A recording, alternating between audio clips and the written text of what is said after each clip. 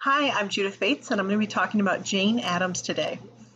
Jane Addams grew up during a time of the rural movement to the cities, and so you have an agricultural and move to industrialization, and that was a huge impact on her and the cultural context. Some of the major influences of her life were her father, Abraham Lincoln, the Rockford Female Seminary, Toynbee Hall in England, and a bullfight.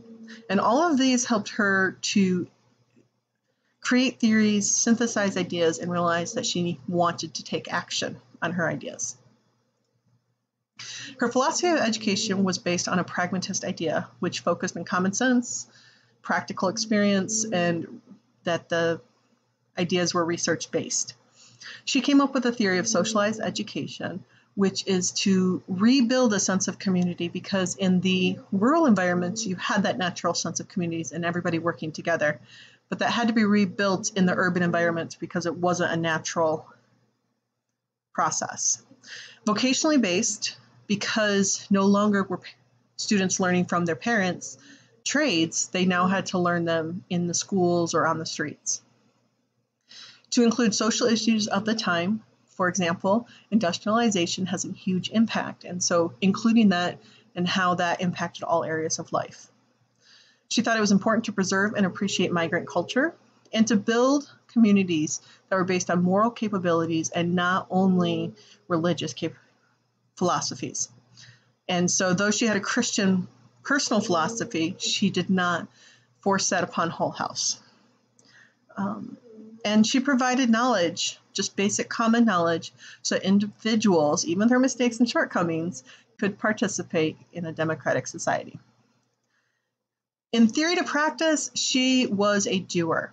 She established Hull House, which was based on three principles of action beyond the individual level, um, an affectionate interpretation of material conditions, for example, and clothing wasn't, I want the latest and greatest, but rather focused on needing quality clothes for jobs and focusing on immediate problems.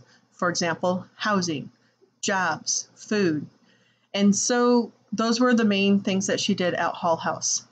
Um, and it was said from 1895 to 1930 that Addams name was attached in one way or another to the different reforms that were made. Some of the major areas that she impacted were child labor legislation, housing and sanitation reform, vocational and immigrant education, women's suffrage, and international peace. She very much agreed that diversity was important and should be embraced to have a positive and successful democratic society. And as such, she created a labor museum where adults could share their trades and their skills from their homelands and show the value of the differences. There were some people who were against her. For example, um, newspaper reporters were looking for sensationalism. Manufacturers did not like that she was taking their workforce away of the child laborers. And political bosses um, couldn't bribe her, and she didn't like they didn't like that.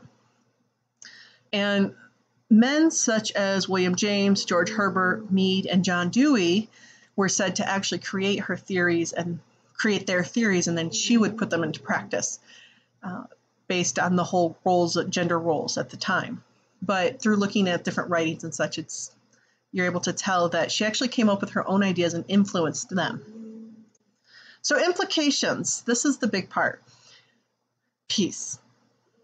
To have a peaceful community, to have a peaceful life, to have a peaceful society, there's six different things that she recommends. Um, and she'll summarize them as loving, working, caring relationships, a growth mindset, sympathetic understanding and forgiveness, commitment to evidence and open dialogue, focus on lateral progress, and listen with empathy. And this didn't mean that there wasn't any disagreements. This didn't mean that everybody always agreed. It means working through disagreements while being respectful. In the classroom, Lake um, came up with five very practical steps of things that can be done based on Addams' philosophy. to invite individuals from all viewpoints in the classroom to discuss their viewpoint and go out to them as well. So seek out those opinions. To get a narrative perspective, to hear the stories behind the information, to engage in dialogue, and to cre- require creative brainstorming, imagination, that's the key, and cultivate relationships even if you disagree. And finally, Addams has influenced my personal philosophy of education, which is that education should provide students with basic academic knowledge, practical experiences, and the ability to critically think and problem solve while demonstrating social ethics to, to ultimately develop a student who can knowledgeably, respectfully, and productively engage in their local and global community.